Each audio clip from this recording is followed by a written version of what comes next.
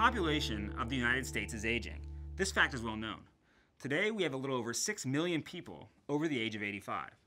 But by 2050, that number will be closer to 20 million. Many of the challenges that an aging population brings with it are also well known, like increasing government spending on Medicare and Social Security.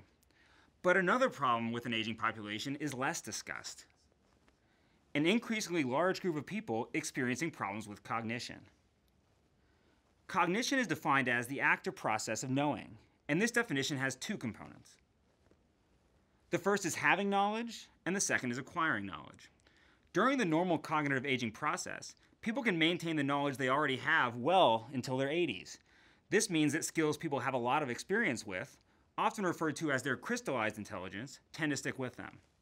For example, if you've taught arithmetic since you were young, or have always changed your own oil, odds are you can keep doing it without much trouble as long as you are physically able. Learning how to do new things, however, which requires what is called fluid intelligence, gets harder a lot quicker. Many people experiencing normal cognitive aging would have trouble learning a completely new skill. For example, coding in a new computer language is harder for a person in their 60s relative to a younger person. So the good news about normal cognitive aging is that most people can do the things they're used to doing. But the bad news is new things get harder.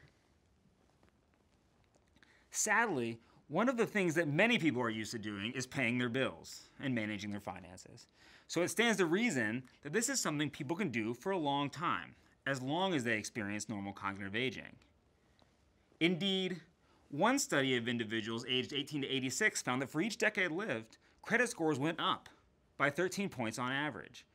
So if an elder gives you financial advice, it may be best to listen, at least occasionally.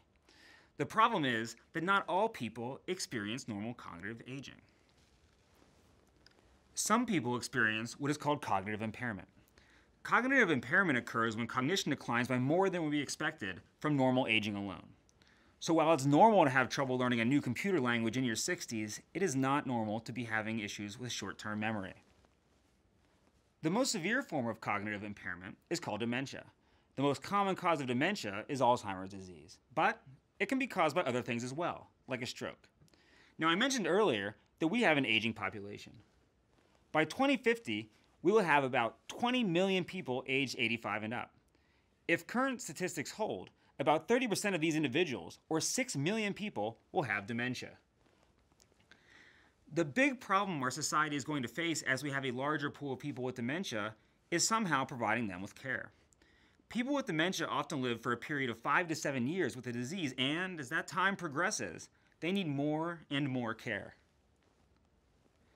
With respect to basic activities like bathing and dressing, during the first few years of dementia, people can generally do these things for themselves, but by the late stages of the disease, even these once simple tasks require assistance. And more importantly, for the research that I do, which is primarily on wealth and retirement, about 80% of people with dementia require help managing their finances. And this help is required even during the early stages of the disease. In other words, while before people need help with the basic activities of daily living, they often need help managing their finances. In the next segment, we will explore a simple question. Do people get the help with their finances that they need, and what happens when they do not?